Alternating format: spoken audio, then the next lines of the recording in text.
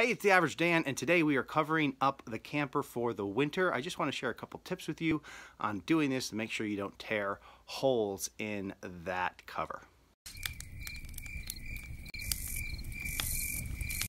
All right, so it probably varies from camper to camper, but your camper very likely has some type of drain spouts on them. Obviously, this is a place where your cover is prone to rip because it's kind of a sharp point. The ones on ours, they're a little more rounded on the front, but the back, they're a lot more pointy. So we're going to take that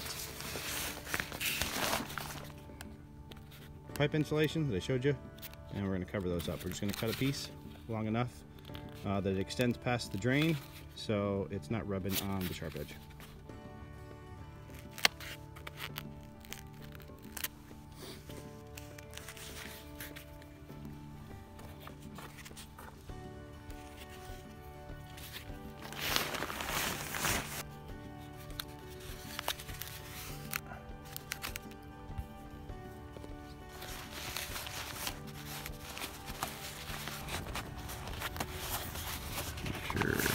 Got the cover back in place that it extends past so it's nice and soft.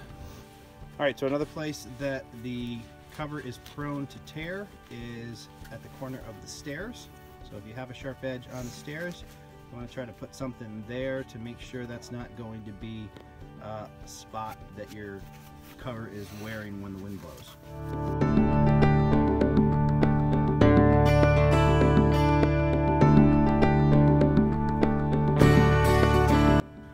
This is the Classic Accessories Overdrive PermaPro Travel Trailer cover. I will put a link in the description below.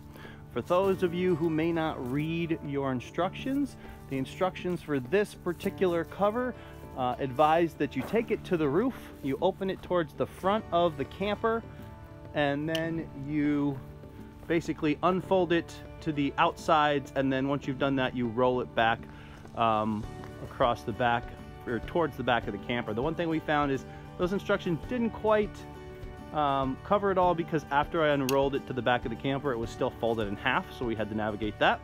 But otherwise, uh, again, if you don't read the instructions, that little bag that they provide, you may not know what it is. You actually fill it with rocks, clip it to the straps, and then you throw it underneath the camper to get the straps connected on the other side. And as you can see, there it is. You just pick it up, you unclip it from the bag, connect it to the buckle on this side, and tighten it up.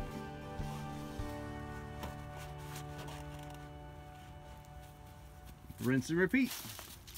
This particular model, this is the 30 to 33 foot cover for our 2014 Jayco Whitehawk.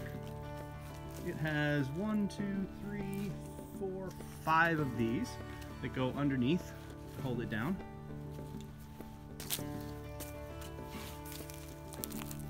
So far it's probably, did you say 20 minutes? Half hour so far? Yeah. third area where the cover can rub are the front corners. Again, we just cut pieces of pipe insulation, put them in there between the corner and the cover just so it wasn't a sharp edge. That way it's keeps that off the cover and will hopefully prevent any unneeded tears. I hope you found that video helpful. If you have tips on extending the life of your travel trailer cover, please share them in the comments below. That's all the time we have for today. Until next time, this is The Average Dan. Thanks.